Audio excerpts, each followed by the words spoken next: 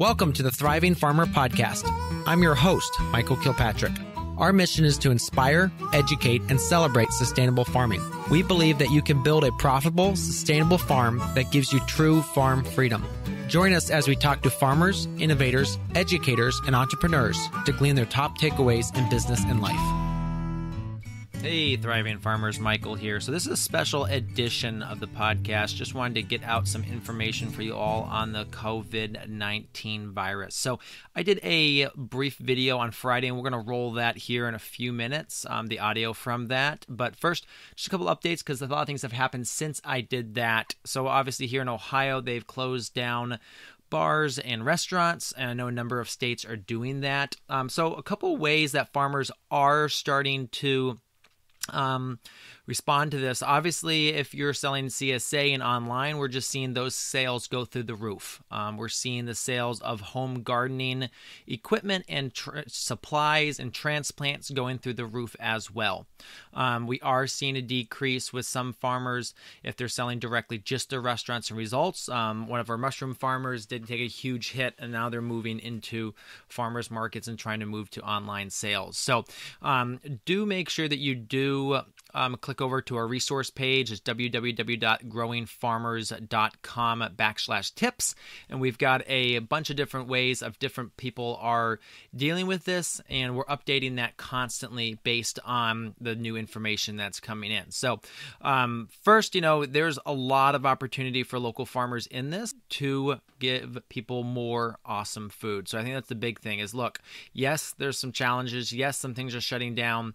Um, but I think it's overall overall going to be a massive opportunity for farmers. And two, just make sure you are, if you are delivering that food, you are staying safe. So one, make sure that you are using, um, you know, keeping good sanitation, wiping things down, um, wearing masks if you're packing, gloves, um, and make sure that those are just things are happening that you're just being really careful because um, people are getting sick from this all right we're going to go ahead and roll that video now Hey, farmers, just wanted to pop in real quick and chat with you a little bit about this virus. I know a lot of you are seeing the effects in your local communities. I've talked to some of our farmers who are getting distribution channels cut, or we have one farmer that works in Las Vegas and she's seen the strip um, completely cut that back and uh, start doing layoffs and stuff. So she's really worried about her income stream. So, um, what I wanted to pop in today and talk to you about is A, kind of what's going on out there. B, um, some truths you need to internalize about that. And then C, how you can make your business even stronger through this. And four, we've got a resource sheet for you on um, some of the responses we've seen that are great and so that you can use those. So I'll mention that at the end. So stay with me through the video. So first, let's talk about what's going on out there. Um, we are seeing farmers lose some accounts, especially in restaurants and the hospitality industry because of conferences and events and weddings and such getting canceled. Those contracts are being pulled back. So we are seeing that. Now on the flip side of that, we're seeing a rise in things like CSAs and home delivery and stuff like that. So that's definitely on the uprise. Um, one thing I do want to say is there's a lot of mass hysteria out there around this. Um, you know, I'm talking to my father, who's a physician. He actually teaches at a university. He's like, you know, yes, it's it's a, it's a thing. He said, yes, you pro- need to wash your hands. Yes, people shouldn't be congregating, but it's not like people are portraying it. You do not need to go buy your local Walmart or Costco out of toilet paper. Um, so there's that. So on the other side is, you know, farmers markets in some cases are still open. Some are being closed. We're not kind of sure what's going on with those. Um, based on um, some people are classifying those as a grocery store and actually saying they're better than a grocery store because they're out in the open air. You're getting vitamin D as you are shopping. Um, one thing to think about is your supply chain. You really do want to think about, you know, do you have wear parts? Do you have the feed and seed that you need to get started this year? Do you have packaging supplies? If you in your farm was going to get sick, um, do you have other farmers that you know that could fill in for you to get that spring planting? Because we're approaching spring planting time for so many of our farmers. Um, so let's talk secondly about some of the truths that you need to internalize. All right. So first, people still need to eat. And a healthy immune system is one of the best ways to combat these viruses and just get it as a mild cold instead of a much more serious um, aspect. Um, you know, it is worse on pre existing conditions and if you are not healthy. So, again, with the understanding that food is our medicine, people need to be eating more local healthy food to uh, um, to be able to resist this. And again i'm not a doctor. I'm not offering medical advice here but we just know that to be true. Um, another thing is it will abate or will end um, according to uh, the news in china and we all know we may or may not be able to trust that. Um, they are saying it's peaked and on its way down over there and people are being released from quarantine. So um, our kind of a hope is that this has kind of blown over and is on the decline before summer farmers markets open up in let's say late may or early june because we still have several months there.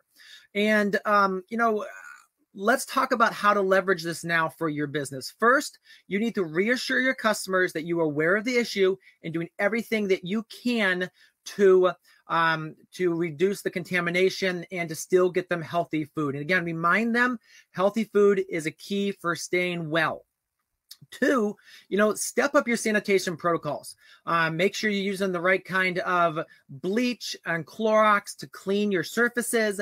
Um, if you have people bagging products make have them wearing masks. Even if they aren't sick i would still be wearing masks because we do know that the um, incubation time of this can be so long. So we definitely want to make sure that that's happening. Again use your own judgment um, at farmers markets. If you are going to do farmers markets stop with the open sales of greens. Um, make sure everything's pre-bagged. This is not the time to say oh i don't want to use plastic. Use more plastic just to make sure people are staying safe. Um, have mix packs that people can grab and go. This is one of the good ideas from my friends at Six River Farms. Um, you know, don't sample. Please don't do samples because again, this is an air can be an airborne. It can be transmitted by hands. Um, so if someone coughs, that could spread on things and cause that. So if you do have people at a checkout, have a dedicated person that's wearing gloves, handling cash, and then the other people just handling the produce and have them making sure obviously they're following the sanitation protocols. And then if you are sick, do stay home. Don't risk it, guys. Even think it's just a cold, stay home. It's not worth the risk. Um, you know, a huge opportunity, and this is um, something I, I, I've been heart, talking about for years, is offer online purchase and home delivery. We are seeing a massive spike in that. Um, and it's it's really starting to work out. And people are people being re- preconditioned with DoorDash and those home delivery services so they're more than willing to pay for the added delivery fee of this. Um, and you can absolutely outsource that. And there's actually great software that helps you you know figure out your routes and um, offer like stores for different areas and that sort of thing. Um, one thing too is do take stock do tighten your belt a little bit because of the economy the way it is relates not only the coronavirus but the markets because of oil. We are going to see a little bit of a pullback from a lot of people. So you do want to start thinking about that. Maybe now the time is not to invest in that brand new tractor. Um, you know, maybe wait a little bit. Make sure you're holding on to your cash reserves at the moment. Um, and then be ready for the whiplash. I absolutely believe that this is only going to strengthen the local food system because people are going to be more than ever scared of industrial food system that's bringing product product in from overseas or from thousands of miles away across the country. So, absolutely think that you can leverage this in your business um, to provide more people healthy food because we know that's going to help them weather this storm um, better. All right, so we do have a resource sheet for you. We put it together at www.growingfarmers.com backslash tips, and we'll drop that in here below that. And you know, the goal with that is just that you know you give you some resources from some farmers markets from the farmers market coalition. We're seeing some awesome posts from some of our fellow farmers out there in the world and they are posting about this so i a link to those. Um, if you have resources that you're seeing we've got a box that you can add some comments and drop those in there. We can add them to the page.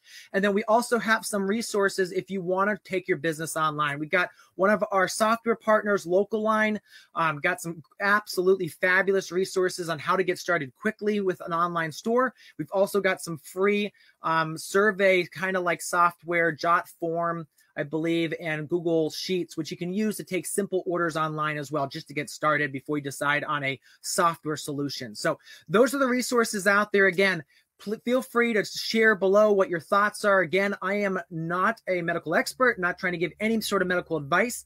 Our goal is just to help you be able to weather this storm in your business and grow and feed more people awesome food. So, again, best of luck out there. We're here for you. Anything we can do to support you, let us know. And that resource, uh, resource sheet is below. So make sure you do go check that out. And feed more people awesome food. All right, you have a great day. So there you have it, another episode in the books. So I'd love if you would hop on over to iTunes and leave us a rating and a review. Those mean everything to us. We love to hear what you're thinking. If you have a podcast guest that you can recommend, please pop on over to the Thriving Farmer podcast website and leave us a review. That's thrivingfarmerpodcast.com.